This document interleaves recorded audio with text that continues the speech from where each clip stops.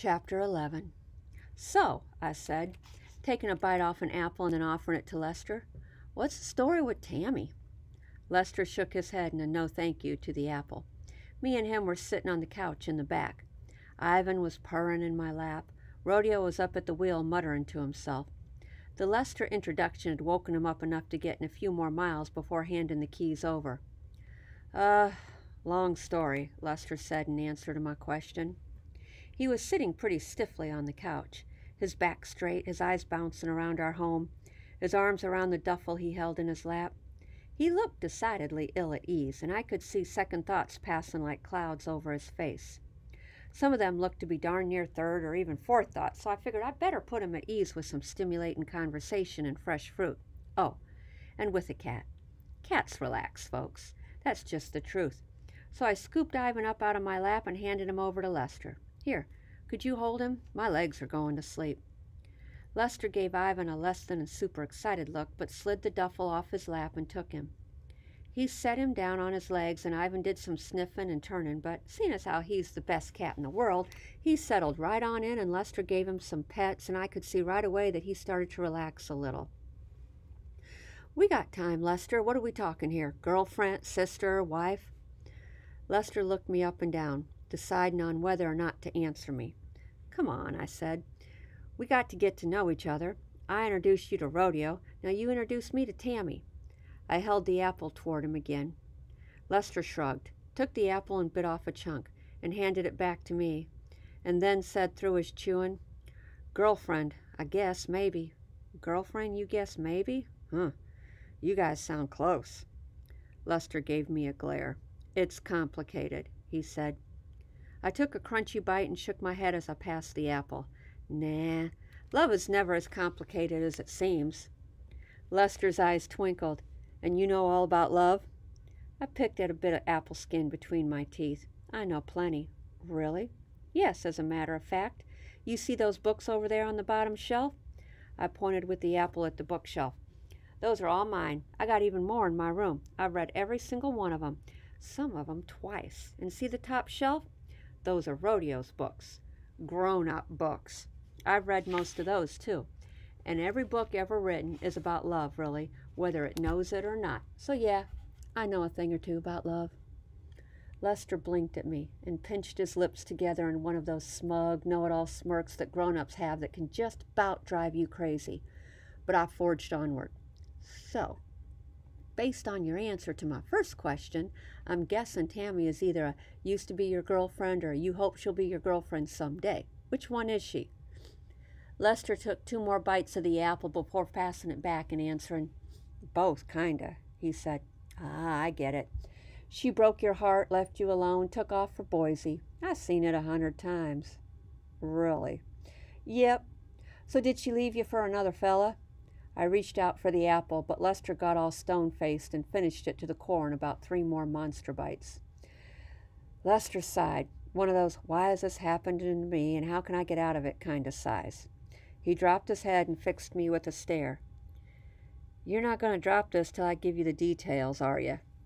Absolutely not. He sighed again. But the second time was more of an, okay, fine, let's get this over with kind. Then he filled me in. Lester Washington played the upright bass in some sort of bluesy, rootsy band called the Strut Kings, which sounded cool as heck in my book. He straight out lit up when he talked about music in the Strut Kings. It was like how Rodeo gets when he talks about taco trucks, but even more, which is saying something. You could just tell that Lester and music were like me and Ivan, and me and Ivan were like macaroni and cheese, so it really so it was really a meant to be together kind of situation all around. Now, Tammy and Boise apparently had other thoughts. Lester was a little stingy with the details, but I got the impression she wasn't super interested in the broke as a joke musician living his dream and trying to make it work scene. He had some communications degree from college that she thought he should be doing more with. But when he left the full time job he hated to spend more time on his music, she left him. And then she left the entire state of Florida. I'm not going to lie. I wasn't all that impressed with Tammy. But, I told myself, I hadn't heard her side of the story. She says if I wear a tie, she'll wear a ring. I looked at him blankly. If I get a real job, she'll marry me, he explained. What about the Strut Kings? I asked. Lester shrugged. Boise's got bands, I bet. I could probably play on the weekends or something. Now, I don't know about most folks, but I can't imagine only having cheese on my macaroni on the weekends. But love's a crazy thing, I know that. And if Tammy was the one for Lester, then I suppose there's worse things than moving to Boise to get her back. It kind of made me think, actually. What Lester was doing for Tammy was really something. He loved her, so he was biting the bullet and doing something tough because it mattered to her. It was nice, him doing that for her. Okay, I said, once he'd given me the lowdown. Well, I wish you luck in winning her back, Lester. Lester worked some apple bits out of his teeth with his tongue. Thanks. Glad I got your support. Sure thing. So tell me. Boise is an awful long way to go for somebody that already broke your heart. What's so great about her? Why should I tell you that? 'Cause it's good practice, man. You're trying to woo her back, right? You better get this stuff down. Lay it on me. What do you love about Tammy? Lester sucked on his teeth for a second, then rolled his eyes and leaned back on the couch and looked me in the eye. She got this great laugh, he began. Sounds like music. She's just about always in a good mood, and when she's not, she snaps herself out of it pretty quick. His eyes drifted away from mine, and a little smile started to play on his lips. And when someone's feeling down, she'll do just about anything to cheer him up. His eyes came back to me. That, he said, that is what I love about her. I shook my head. Nope, Lester. If you want me to believe it's worth taking you all the way across nine states, you gotta do better than that. He pulled his head back. Excuse me? What's wrong with that? All you gave me is reasons why anybody might love her. Heck, why I might love her if I met her. You didn't say anything about why you love her. Lester screwed up his eyes doubtfully at me.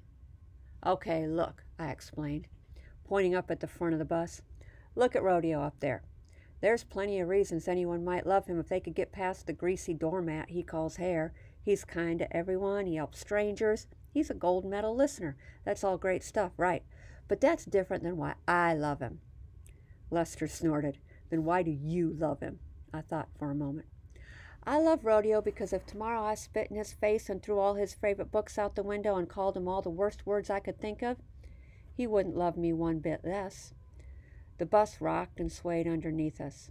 I kept my eyes on Rodeo, on the back of his shaggy head bobbing to the music.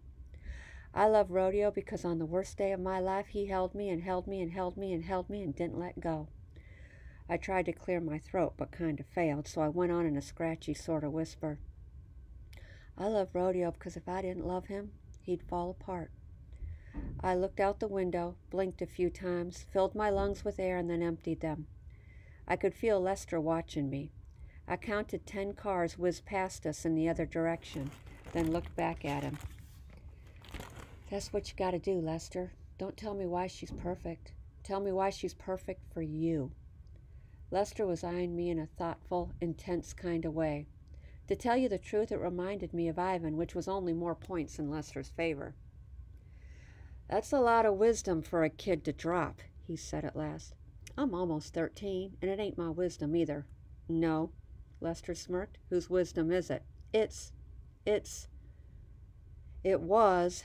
I dropped my voice to a whisper and kept an eye on Rodeo. It was my mom's. Talking about her at all was a strict no go, and doing it on board Yager was like farting in church. But something about Lester's listening eyes, and something about the secret mission I was on at that very moment, made it easier to walk away from that role, at least for a minute. She had me and my sisters write letters to each other one day. We had to say what we loved most about each other, and it couldn't just be something nice about them. It had to be unique and special to us, what we loved about each other. She had to write the words for my little sister, but we all did it. Me and my sisters sat down and we wrote what we loved about each other. Lester looked around the rattling bus. Where they at, your mom and sisters? I picked at a thread that was trailing out of a seam in my jeans. Oh, I answered, trying to pluck the thread out without unraveling any more. They're dead, Lester. My eyes flashed up quick to Lester. I liked that he wasn't making some syrupy, sympathetic face like that he didn't look away, like that he didn't cluck his tongue or bite his lip or anything stupid like that. But I'm glad we wrote those letters. We passed a semi truck, and for a few seconds we were lost in the rumbling thunder of the tractor trailer. Up at the front, Rodeo stretched dramatically and let out a flamboyant yawn. Woo-hee! he hooted. Put a fork in me, y'all. I'm done. He slapped his face a few times and then flicked on the turn signal and steered Yager off onto an exit ramp. The bus shuddered around us as it slowed down from highway speed. Looks like it's your turn to drive, I said, poking Lester's knee and standing up, holding myself steady with the arm of the couch. Lester was still looking at me. What did your sisters say? he asked. Why'd they say they loved you? I don't know. We never read the letters. Lester blinked. What'd you do with them? I stepped past him, heading toward the front of the bus and a badly needed bathroom break. We put in a box and buried in a park, I answered. In retrospect, what happened next was at least partly my fault, but I'll never admit that to Rodeo because I don't want to let him off that easy. It all started with Rodeo and Lester arguing over a map.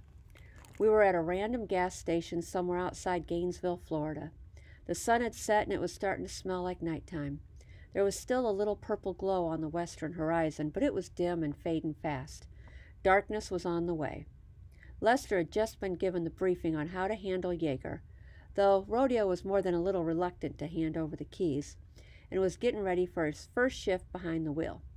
I came wandering back from the gas station bathroom, snapping my gum and humming a little song, to find those two bickering out in the parking lot, waiting for the pump to finish filling our tank. I'm telling you, man, you gotta start using a phone, Lester was saying in an argument I could have told him was a lost cause. Using a paper map is crazy. Rodeo was smiling serenely, the open atlas in his hands. Yeah, brother, what can your phone do that my map can't? Are you kidding? Lester sputtered. Everything. Check this out. Lester stepped shoulder to shoulder with Rodeo so Rodeo could see the screen. I can just type in where I want to go, and it'll tell me the whole route, turns, and everything. Shows me how long it'll take. It even tells me if there's construction or delays or anything. My interest was piqued. Let me see that, I said, and elbowed my way into their huddle. The candy bright screen before my eyes was a revelation. I'd always seen folks playing on their phones, but I'd only ever used phones I'd borrowed to make phone calls. On Lester's phone was a map, all colorful and clear. There was a blue line from where we were to a glowing red pushpin labeled Boise. It said right there on the bottom of the screen 36 hours, 2,504 miles. No dental floss or long division required. It was a miracle.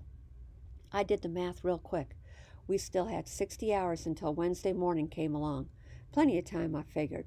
Not a lot of wiggle room for wandering or lollygagging, but we were on schedule. I beamed up at Lester and Rodeo. This is fantastic, I said.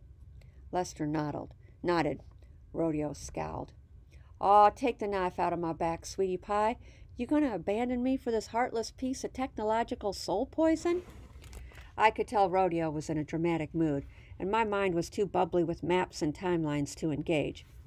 I'm going to bed, I lied, knowing full well I was going to lay in my room and strategize a way to get us from Boise to home instead of Boise to Butte. I leveled a finger at Rodeo as I walked away. And now I want a phone for Christmas. Rodeo howled in theatrical horror, and I left them to their conversation. I was walking up Yager's steps when my stomach gave a little rumble. I shrugged and grabbed a few bills from our cash jar and changed direction.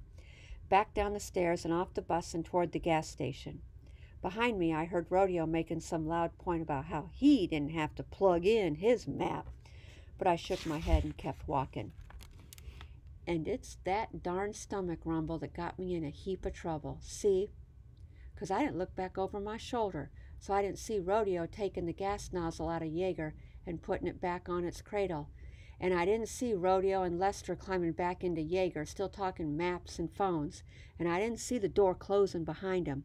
What I did see, though, when I came back out a few minutes later with a mouthful of corn nuts, was an empty parking lot and not a bus or a hippie in sight.